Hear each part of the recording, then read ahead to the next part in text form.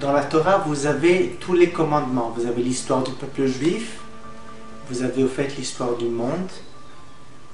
Ça, c'est la partie narrative de la Torah. Et puis, vous avez les commandements. Les premiers chrétiens, bien évidemment, étaient juifs. Il y a eu ce judéo-christianisme. Des juifs qui se sont révoltés contre la corruption du temple, qui se sont révoltés contre certaines pratiques des juifs qui n'étaient pas en accord avec la Torah. Paul est le personnage qui a brisé ce lien entre judaïsme et cette nouvelle religion qui va s'appeler le christianisme. Jésus était un juif, Paul aussi était un juif, les premiers chrétiens étaient juifs, donc effectivement le christianisme est né du judaïsme.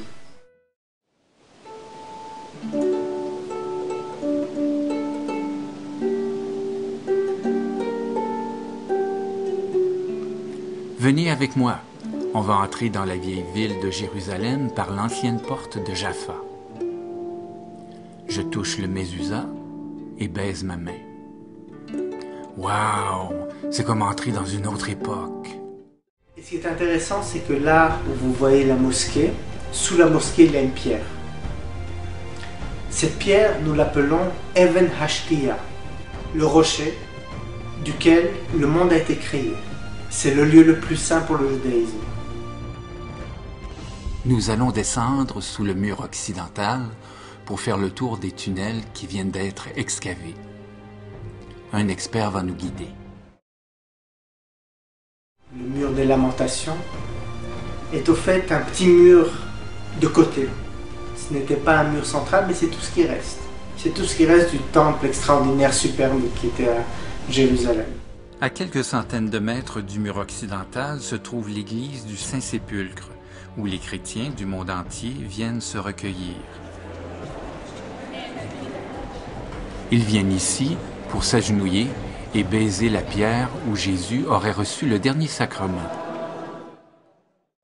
La Pâque juive s'appelle Pessah en hébreu. La dernière scène de Jésus et des apôtres a eu lieu au moment du Pessah.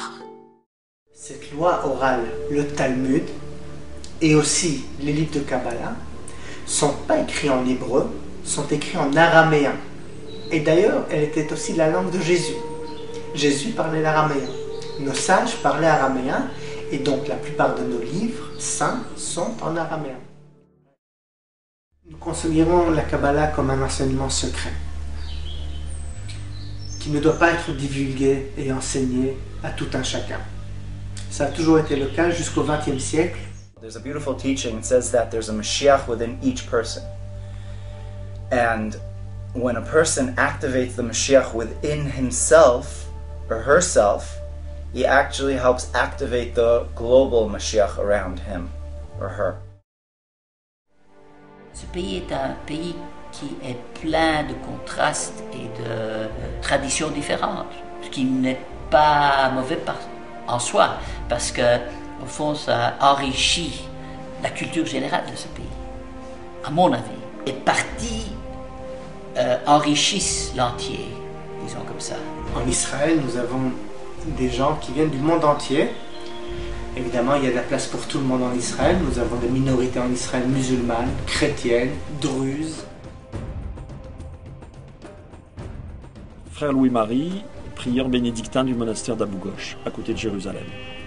Je suis français, je suis moine bénédictin, et donc en Israël depuis 33 ans. Et si je vis dans ce pays, c'est parce que c'est le, pays de la révélation. C'est la terre de la promesse, c'est la terre que Dieu a choisie pour y faire habiter son nom à Jérusalem. C'est toute l'histoire de l'alliance qui se passe ici et où Jésus, effectivement, la venue de Jésus ne pouvait pas avoir lieu dans un autre pays. Et c'est pour ça que cette terre est porteuse de toute cette histoire et qu'elle est encore dans l'actualité aujourd'hui où on a euh, des juifs, des chrétiens, des musulmans qui essayent d'être fidèles à leur foi.